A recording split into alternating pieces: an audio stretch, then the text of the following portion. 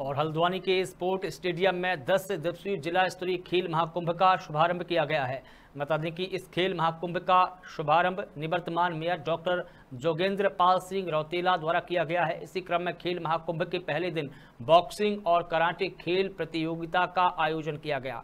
अगले 10 दिनों तक चलने वाली इस प्रतियोगिता के बाद राज्य स्तरीय खेल महाकुंभ में यह खिलाड़ी प्रतिभाग करेंगे। इस दौरान मेयर डॉक्टर जोगेंद्र रोतेला ने कहा कि पूरे प्रदेश में खेल महाकुंभ के ज़रिए स्पोर्ट्स का माहौल बना है और इस तरह खेलों के आयोजन से राज्य को बेहतर और उम्दा खिलाड़ी मिलेंगे जो कि आगे चलकर प्रदेश और देश का विश्व में नाम रोशन करेंगे। हल्द्वानी से दीपक अधिकारी की रिपोर्ट।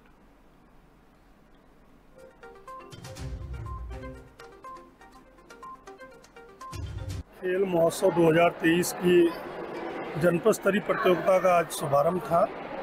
मैं अपने प्रदेश के यशस्वी मुख्यमंत्री श्रीमान पुष्कर सिंह धामी जी और हमारी खेल मंत्री आदरणीय श्रीमती रेखारिया जी का धन्यवाद करता हूँ कि वर्तमान की सरकार ने खेलों में बहुत ज़्यादा ध्यान दे रखा है। सभी को प्रतिभाग करने का अवसर दिया और इसका यह नतीजा है कि आज स्पोर्ट्स का, खेलकूद का एक स्ट्रक्चर संरचना इस प्रदेश में बन गई है और आगामी वर्ष में